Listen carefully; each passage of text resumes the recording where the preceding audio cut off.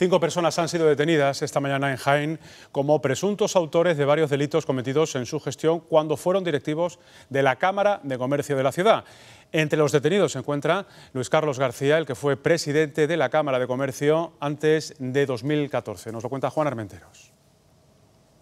nos ha confirmado que de momento aquí en esta comisaría de policía de Jaén hay cinco personas detenidas y que en la próxima hora se va a detener a más personas de la anterior cúpula directiva de la Cámara de Comercio de Jaén, los que estaban antes del 2014 cuando ya hay una nueva directiva. Se le acusa de varios delitos, nos han confirmado por parte de la policía lo que llevan la investigación, que el sumario es muy voluminoso, que son miles de folios que se lleva tiempo investigando y entre los delitos que se le acusa está cohecho, prevaricación, malversación en las subvenciones y varios delitos más.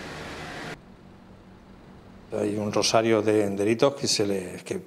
presuntamente eh, los investigadores han, han, ido analizando uno por uno y bueno, como ya digo, el operativo policial no, no ha finalizado.